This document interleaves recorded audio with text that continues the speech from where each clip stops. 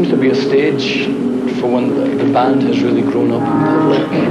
When we look back and look at events of the years, a lot of it take place in Belgium. Obviously, the main thing being being the festival scene here, but also the the. Um, we did a documentary here a few years ago as well on a TV show, and and uh, we've always always listened to as well to the people in Belgium. I remember uh, playing in the Forest National, um, opening for for Peter Gabriel on a tour that played 13 five nights through Europe, and we got one encore in the whole tour. Guess what it was?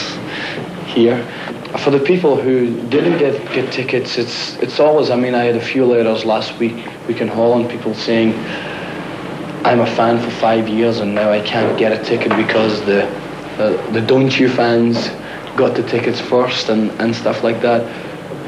This is a problem. Um, when a band grows up, there's growing pains. You you don't you can't keep everything in control.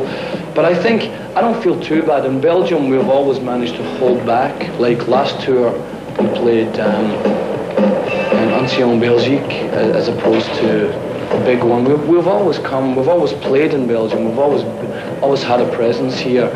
Um, I just tell the people who couldn't get get tickets to really keep in touch, keep their ear to the ground, and they should see us in Europe again in the, early summer. I think America is a new country to Simple Minds.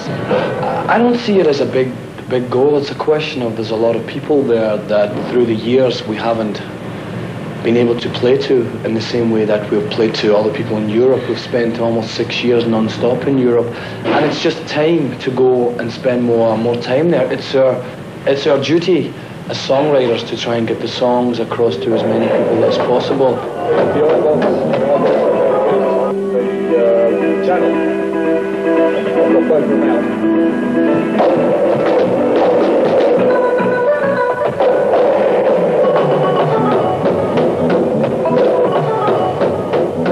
Last night when I arrived at the, the airport in Brussels, um, I didn't exactly feel alive, alive and kicking, but uh, after today, a good night's sleep and uh, a rest and everything, I do actually. I, feel good. I was I was saying to a friend on the way up here, um, we've always enjoyed playing and touring, but I, I can't quite quite recall um, enjoying myself so much on, on stage as I am at this uh, this moment in time, and I don't think tonight will be any different.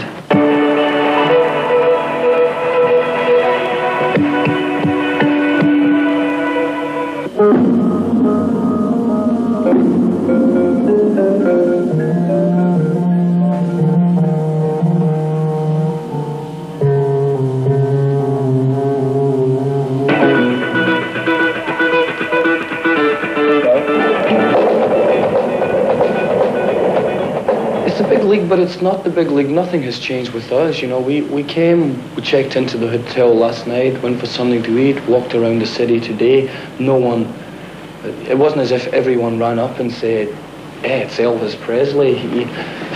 You know, it's, it's not, it, it is the big league, but it's not, I think, I think the music is the big league.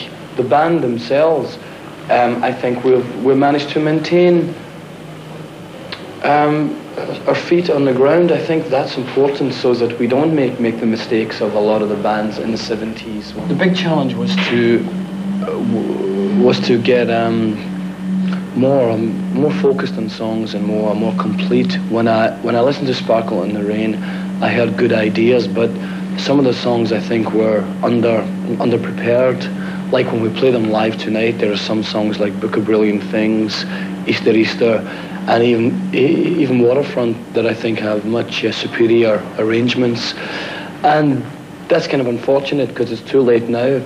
But um, so we wanted in advance with this album to have work harder on the songs, discipline ourselves, and uh, well, you were there. You you you saw. Uh, we took some months. We went went into the country and. Uh, we didn't go with the first ideas. We waited until the melodies were very sharp. We waited until I had a, I had a focus lyrically.